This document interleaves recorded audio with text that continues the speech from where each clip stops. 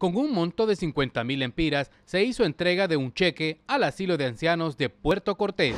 Cuando la ciudad cumplió 150 años, en el mes de marzo, hicimos una actividad para poder atender eh, un beneficio al hogar de ancianos, ¿verdad? una actividad deportiva que se realizó y hoy pues hacemos oficialmente la entrega de, de este cheque, de este aporte que sabemos que tiene como objetivo contribuir pues a toda la gestión que el hogar de ancianos realiza y beneficiar eh, lo que ustedes necesitan, atender lo que ustedes necesitan.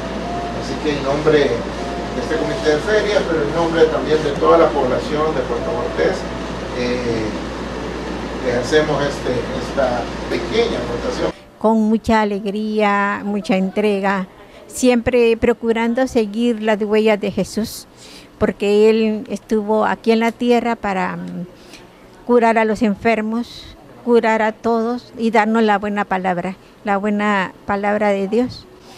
Y por eso es que estamos aquí para seguir las huellas de Jesús. Eh, con relación al aporte que nos dieron, pues más que yo solo les puedo decir muchas gracias, no solo a, a nuestro señor alcalde, licenciado Alan, sino también a todo el todos los habitantes de aquí de Puerto Cortés, porque es una gran ayuda que nos han dado. Eso nos va a servir para muchas cosas, por ejemplo, medicamentos, alimentación, aseo, eh, a veces hasta arreglarles algo. Por ejemplo, hoy en la mañana fuimos al Hospital del Caribe. Siempre el Hospital Caribe nos ha ayudado, los médicos de ahí, especialmente la, el doctor Morales, la doctora Yanira, son los que nos han ayudado con los abuelos.